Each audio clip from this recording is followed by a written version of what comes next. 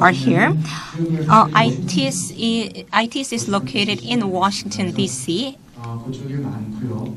So there are many law firms uh, that specialize in ITC litigations around Washington D.C. So when you choose your legal representatives, you have to make sure that these uh, the law firm uh, has a lot of experience related to ITC, and and you also have to choose a law firm that has uh, many uh, patent lawyers, and you also have to choose a law firm that has experience of representing Korean companies, because as I said before, uh, Korean companies have many misunderstanding or lack of understanding related to discovery, and there could also be some miscommunication even with uh, with their legal uh, representatives.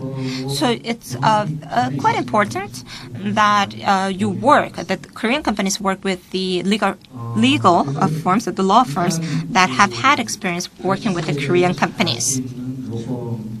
So you have to choose a law firm that knows about ITC as well as Korean companies. But of course, that is not all. In case of Samsung Electronics, uh, we uh, form a task force team uh, made of the teams, uh, made of the people from the patent team, the development team, and support team. And the people at the development team are so very busy. They have so many developments that they have to take care of. They really don't have much time to help us uh, during uh, the litigation. But this is very important uh, for uh, discovery. Uh, for the submission of the document, you need to have a cooperation the, uh, from the development team because patent team does not know where the documents that are needed are. So you need to be able to form this sort of task force team and and um, our experience tells us that such a, a, task force is very important. And I'm sure this is same uh, at all companies at other uh, forums as well. When it comes to ITC litigation, as I said, the timetable uh, is very tight. Uh, uh, there has to be a very rapid, uh, speedy uh, decision making. And about coming up with the argument, uh, about coming up with the defensive strategies, my time is almost up, so you can read them uh, at your own leisure. And if you, there are questions for me, I'll try to answer them later on. And there's also something called a design around. And many companies are doing this.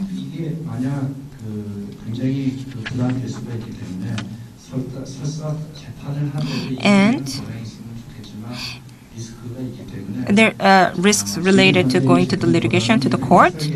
Uh, if you have any ideas for the design around, it um, it's quite useful even during on the negotiations as well as well as the as well as after the trial. So it requires a lot of effort, but uh, design around does help. With that, I would like to uh, wrap up my presentation. Thank you.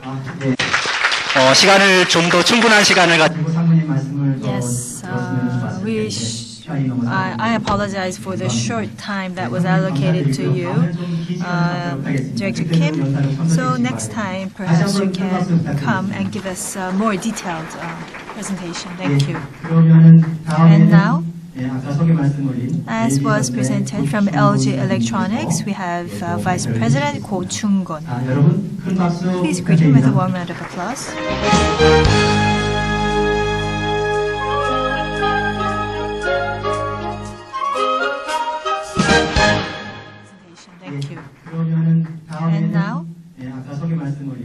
As was presented from LG Electronics, we have uh, Vice President Ko Chung-gon.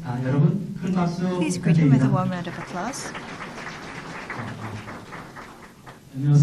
Yes, good afternoon. I am Ko Chung-gon of LG. 오늘 저 ITC의 SX today with ITC, Honorable Judge Essex, and also Mr. Kim from IPAC, and also with uh, Sonu uh, attorneys uh, from Finnegan. It's an honor. When we say ITC, we tend to uh, it is the International Trade Commission. And a lot of people tend to think that ITC stands for a organization in the UN. But that's not true. This is a trade commission within the U.S. So I've written down the USITC. And actually, the uh, younger generation is aware of this USITC more than the older generation. And now in Korea, it's almost a household name, uh, the USITC. So it's uh, come up very often in the newspapers. And uh, I asked my nephew what the ITC is. And his answer was that my small uh, boy, my nephew, said that the ITC is an organization which uh, disallows import of Korean products into the U.S. So that's a mis- misunderstanding, but uh, that's what he said. Now, I work at LG Electronics, and the finished product home appliances, cell phones, television, the finished product we make finished products and that means that we are subject to many different patent litigations in the US. And as was mentioned, we have had many instances of these cases. This is the LGE experience with ITC in and the most recent amongst these is the case of the refrigerator. Uh, LG Electronics was the respondent and we won against uh, we it was against Whirlpool and uh, LGE won in this instance. People say that ITC comes from hell. A lot of uh, companies who have been involved in these litigation suits uh, the ITC, when we see the documents from ITC, it's about over 200 pages. And so two years ago, we, re we received the documents from ITC. It was over 200 pages, and we were very surprised. But during that time, we were prepared because in the home appliances market, we were competitors with Whirlpool. And during that time, we had had cases with the uh, washing machine with Whirlpool, and we won. And we thought that there would be the refrigerator uh, case with Whirlpool. And we thought it would be with the district court, but unexpectedly, it was with the ITC. It was filed. So uh, we were prepared with non-infringement uh, date documents and other documents. We were prepared at that time. So with that, because we were expecting and preparing, it was all within the scope of our preparations. So it should have been concluded within a year, and uh, we won almost. But the committee uh, re-deliberated and uh, there was a re-judgment and there were ups and downs and then finally we won this case. So in the ITC, uh, I would like to once again, I think, uh, emphasize the importance of preparations and being advanced uh, uh, ready. And at that time, Honorable Judge Essex was the judge presiding at that time. And uh, LG Electronics was, in many cases, was the respondent, but in some instances, we have become the complainant. So recently, uh, against the Vizio, Vizio, which is the biggest uh, television seller in the U.S.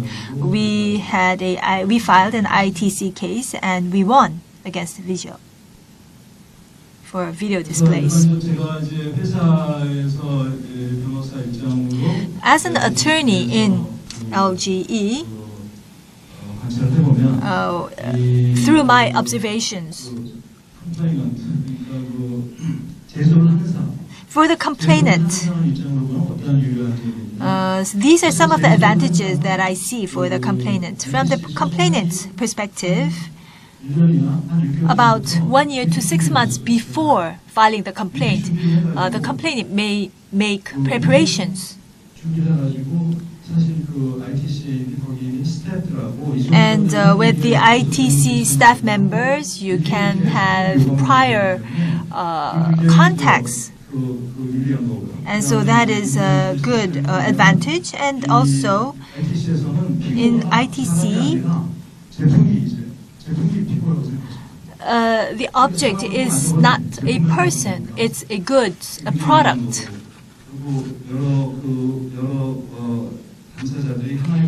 And uh, it's a single court for multi-party IP disputes. And uh, when I when I talk about the no counterclaim, it means that if you want to raise a counterclaim, you have to have a separate IT uh, case. You have to file a separate case.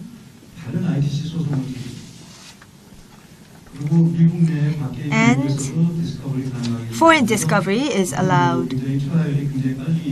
And uh, the trial is very much expedited within a year. And if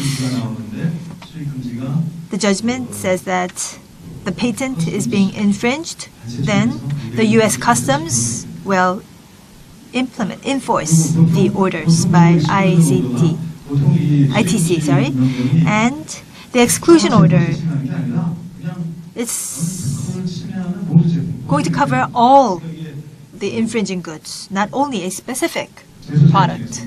So from the complainant's perspective, these are very good advantages. Next, what are the advantages for the respondent?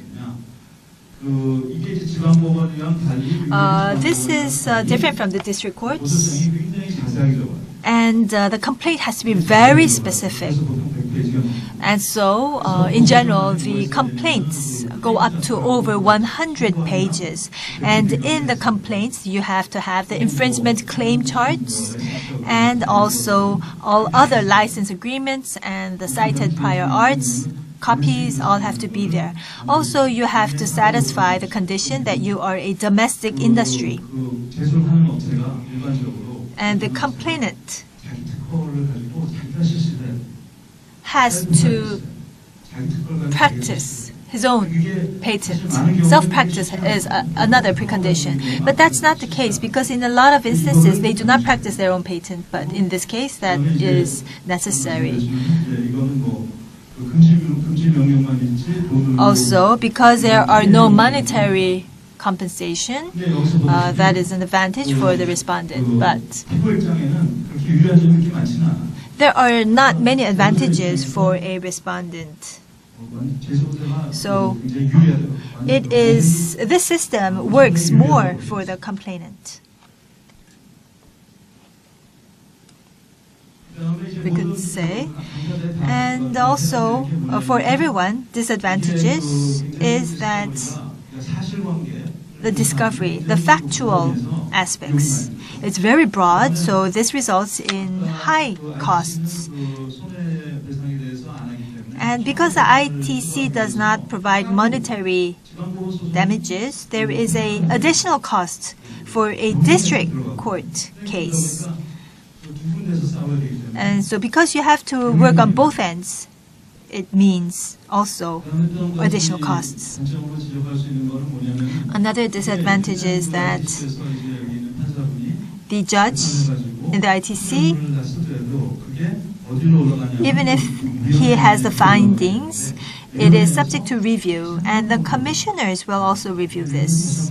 And the commissioners, in their review, because the commissioners are not present at the trial itself, because they do not observe uh, many, they don't have first-hand observation of the witnesses. There are a lot of uh, variables here. And so the ITC trends,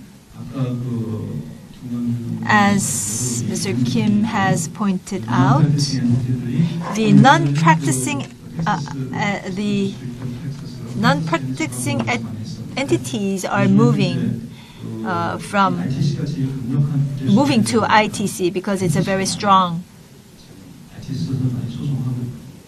tool. And